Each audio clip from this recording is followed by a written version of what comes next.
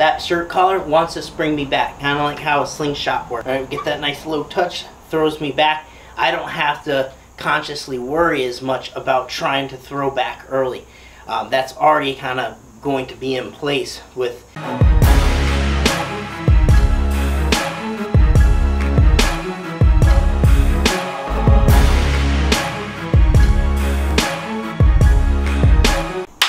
Hey guys, Coach Ben here, BigBenches.com, and today I'm going to go over how I like to position my bench shirt here in order to get an easy touch and a better groove.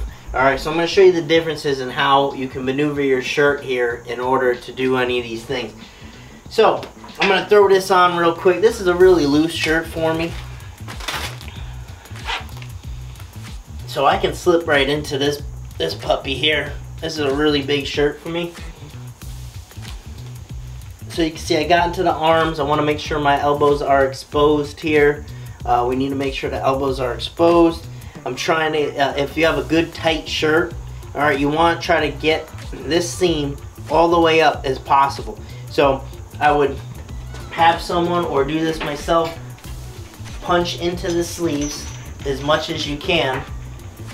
All right, and I would try to get the barbell knurling right on this armpit swim into it even more. Okay, have someone pull down the chest plate just a little bit.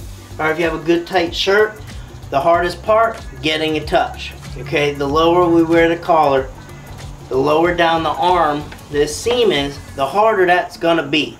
Okay, so it's not gonna be conducive for us if we pull this down with a good tight shirt. So it depends where you are in your break-in process. All right, now if you have a shirt that's good broken in enough that you can jack it up a bit, pull it down the shirt sleeves here, and still be able to get a touch, okay, then let's do that. One of the ways that I like to wear my shirt is every time I leave my collar high and I leave these way up, I struggle a lot with the groove.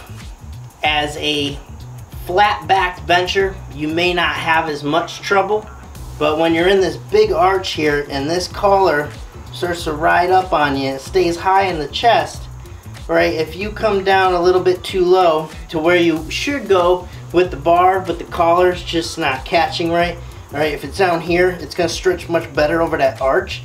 I'm gonna start losing pop if I go too low here, and then I'm gonna struggle to throw the bar back. So every time I've ever had my shirt collar high, I've really had to focus on throwing the bar back. And I sometimes will end up getting pitted into my shoulders. It's a tough groove when this isn't pulled down. But you're gonna be able to get an easier touch than having all that resistance stopping you. How I like to wear the shirt for my big attempts, right? I position them myself. I like to position my own shirt. Um, typically, I, I know where I want the shirt I can maneuver those little things myself. So what I do is first I take the tricep seam, alright, it's up high right here now. I like to go really low. I'm someone that likes to wear my shirt sleeves very, very low. I love being able to get that weight out, drive right into that material. I really set a real hard spread out, okay? That creates stability for me. So I like to take this seam and I'll really drag it down the arm, okay? Depending on how tight my shirt is, you know, at the meet, I can only do this so much because if I'm working with a really tight shirt at the meet, then I still want to be able to touch, okay? So I'm going to drag this down, all right, just about right there. So I went from upper tricep, now I'm down to about uh, middle tricep there. Okay, I'm going to take the collar, take the shirt here, arch back, pull down. Okay, it's just so it's covering my nippies, lower chest. Alright, in this position, this is where I can get a good throw with the shirt. This puts me in an awesome groove.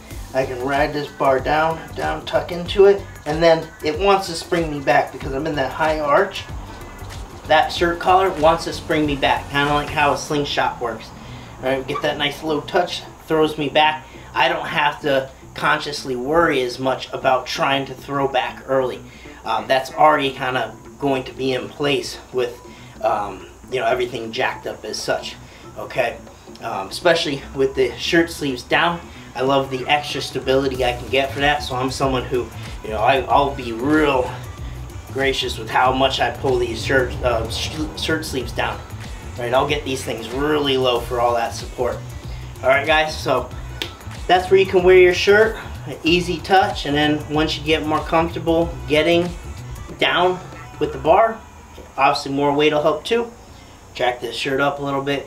If you're an arch bencher, that's gonna help a lot with your bar groove.